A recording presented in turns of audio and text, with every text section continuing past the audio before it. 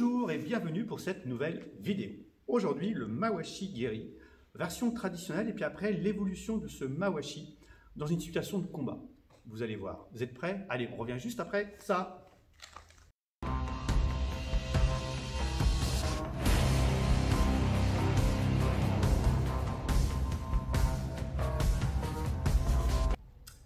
Donc, Mawashi Geri. Mawashi Geri, on va commencer par tout simplement la jambe arrière. Donc, dans le Mawashi Geri traditionnel, là j'ai mis exprès justement une cible, de manière que vous voyez bien à peu près le placement au niveau du corps.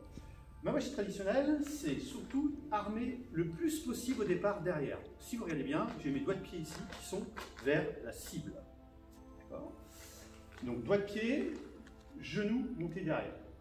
Ensuite pivot, Bien entendu, le genou est monté, je déplie, je ramène, et je pose derrière. Ce mawashi traditionnel comme vous. Je vais commencer à aller un tout petit peu plus vite dans le temps d'armement. 1. Donc regardez bien cette jambe d'appui qui reste toujours en flex. Rotation, extension de la jambe, retour et retour également du pied. Maintenant, je vais chercher vraiment à venir frapper avec cette hanche. C'est-à-dire je garde toujours le temps d'armement ici. Et là, c'est ma hanche qui va envoyer cette jambe, qui va faire pivoter le pied d'appui. J'envoie et je passe. Je recommence. J'arme. La hanche ici va envoyer. Je pivoter mon pied d'appui. C'est la forme traditionnelle de votre mawashi. Bien entendu, au départ, beaucoup de personnes utilise d'abord un, pivoter, placez-vous, extension, ramener, puis poser derrière ou devant. Deuxième travail, cette fois-ci toujours sur le mawashi traditionnel. Je vais commencer maintenant à changer, c'est-à-dire je vais envoyer ici la hanche. Donc tout à l'heure, je, je la mettais vraiment derrière ici. Voilà. Maintenant, je vais, je vais commencer à mettre devant. Mon pied d'appui ne bouge pas. Donc j'ai déjà ce mouvement ici. Je vais retarder au maximum le pivot du pied. 1, 2, 3. Je recommence, donc je ne m'occupe pas trop des bras pour l'instant. Je suis ici. 1. Donc on voit que le mawashi ici, l'ouverture, arrive au niveau du pied d'appui. Voilà, ça va être mon point de repère. Puis, au dernier moment, je décide de lâcher pour faire le mawashi Alors, on a vu le mawashi giri traditionnel avec cette belle ouverture derrière, voire un petit peu ici, légèrement à 90 degrés hein, par rapport au mawashi que vous effectuez. Donc maintenant, on va faire une évolution de ce mawashi, c'est-à-dire que au lieu d'armer derrière 90, on va commencer à armer ici, c'est-à-dire devant. Donc, on sort un petit peu du côté mawashi traditionnel. Par contre, on va garder toujours la même frappe, c'est-à-dire l'idée de pivoter au niveau du pied d'appui, bien sûr, et de venir travailler ici avec la hanche. Donc là, on voit, elle commence à armer ici, donc plus devant. Tout à l'heure 1, tout à l'heure 2. Maintenant, on arrive 3 ici, pour faire le mawashi. Alors, on continue toujours avec le mawashi. Maintenant, on a armé derrière, 90. On a armé ici à peu près 45 degrés. Donc maintenant, on va armer devant, mais avec le genou au corps, très légèrement euh, de biais, comme ceci, avec le pied un peu à 45 degrés. Donc pareil, mais au dernier moment, bien sûr, toujours le même système, avec le pivot de mon pied, mais c'est encore une fois, c'est la hanche qui va déclencher, c'est la hanche qui va ici, le bas du, enfin milieu du corps, qui va décider de pivoter, envoyer la jambe et bien sûr faire la rotation de votre pied d'appui. Alors, le mawashi maintenant que l'on voit souvent chez les compétiteurs, monter le genou direct, puis pareil, au dernier moment, pivoter. Donc la difficulté de ce type de mawashi, c'est de monter le genou suffisamment haut, en tout cas si vous voulez faire un mawashi, bien entendu, à peu près haut. C'est-à-dire ici.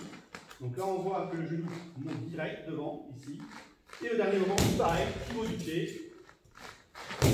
pour faire le mawashi guéri. Mawashi un petit peu spécial, on va dire, qui ressemble pas trop à un mawashi au départ. C'est-à-dire qu'on va partir jambes tendues. Avant de partir jambes tendues, je fais un petit exercice comme ceci. Un petit peu comme si je voulais faire du hachibara, du balayage. Donc jambes tendues. Et en étant jambes tendues ici, pareil, je vais essayer de retenir mon pied le plus possible. C'est-à-dire mon pied d'appui ici, je laisse, bah, il bouge un petit peu à 45 degrés, c'est normal. Mais je laisse le maximum, je résiste au maximum ici, de manière qu'au dernier moment, il va pivoter pour faire le mawashi. Donc si vous regardez bien, par jambe tendue, mais il va y avoir une frappe quand même, parce que grâce au pivot ici, ça va engager la hanche. Et au, dernier moment, je fais une légère flexion de cette jambe, qui est partout tendue au départ.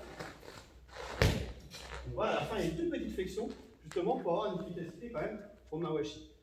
Ce type de mawashi, euh, certains compétiteurs le connaissent, notamment, euh, on l'a vu beaucoup dans les pays de l'Est, dans les joueurs du monde, etc. Donc ils partent direct ici, avec les jambes tendues, fin de balayage, et derrière, ils font leur mawashi. Même chose sur le mawashi, jambes avant, donc au départ, toujours la même chose, armé ici derrière, faites votre mawashi, 1, 2, donc là c'est plus un travail de rotation de hanche, en jambes avant, sur cette distance-là en tout cas, si vous regardez bien mon pied d'appui, il ne bouge quasiment pas, pour l'instant, Donc, armé derrière, frappé. Ensuite, armé devant, ici, juste ce petit mouvement-là de Mawashi. Ensuite, on va un petit peu plus loin, on va faire un petit peu comme dans l'idée tout à l'heure où j'ai mon genou qui monte un petit peu ici à 45 degrés.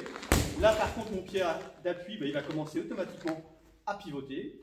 Travail suivant, armé comme on a fait tout à l'heure avec la jambe arrière, c'est-à-dire le genou devant. Si vous regardez bien, si je ne déplie pas ma jambe, ben, qu'est-ce qui se passe? Je tombe parce que j'ai mon poids vraiment au centre. je suis ici. Et sauf que là, au dernier moment, j'ai quelque chose qui est assez dynamique. Et enfin, le dernier, même chose, je vais partir droit ici, droit comme ceci, et au dernier moment, ah, faire le mawashi. Donc celui-ci beaucoup plus délicat, comme vous pouvez constater, puisqu'il y a ce déséquilibre un petit peu qui est sur l'avant. Par contre, c'est vrai que quand le mawashi touche à l'impact, il y a quelque chose qui est très lourd, puisqu'il y a votre poids du corps qui vient en même temps sur ce mawashi. Alors, pour juste revenir un tout petit peu en arrière sur les mawashi avec la jambe arrière, justement, tout à l'heure, on s'est concentré sur le 1, le 2, le 3, le 4, le 5. En tout cas, bah maintenant, ce que je vais essayer de me concentrer, c'est le placement des bras. Chose que je n'ai pas faite au départ, puisque je voulais vraiment insister sur les temps d'armement, etc. Donc bien entendu, les bras, ils restent devant. Quand vous armez ici derrière, les bras, ils restent là. Puis ensuite, pivotez, les bras doivent suivre. Que vous faites un mawashi euh, traditionnel, que vous partez un petit peu plus ici, comme on a fait, votre bras droit, lui, il faut qu'il arrive à suivre votre jambe. Hein, même chose, bien entendu, si vous partez à 45, un petit peu comme ceci. Voilà.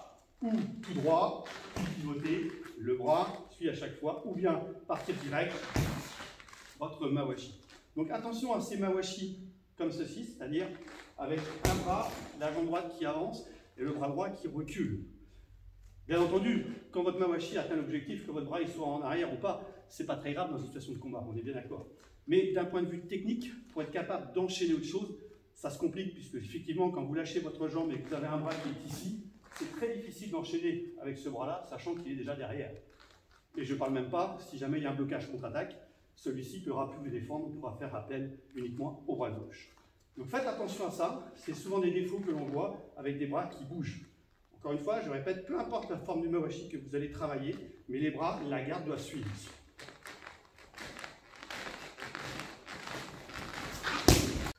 Voilà quelques petits exercices en tout cas de mawashi. J'espère que ça va vous aider en tout cas de travailler des mawashi de forme différente. Mais attention, le mawashi le plus important, c'est le premier sous forme traditionnelle. Parce que quand vous avez compris l'ouverture des hanches et surtout cette notion d'équilibre, le reste après, ça va se faire facilement. Allez, sur ce, je vous dis à la prochaine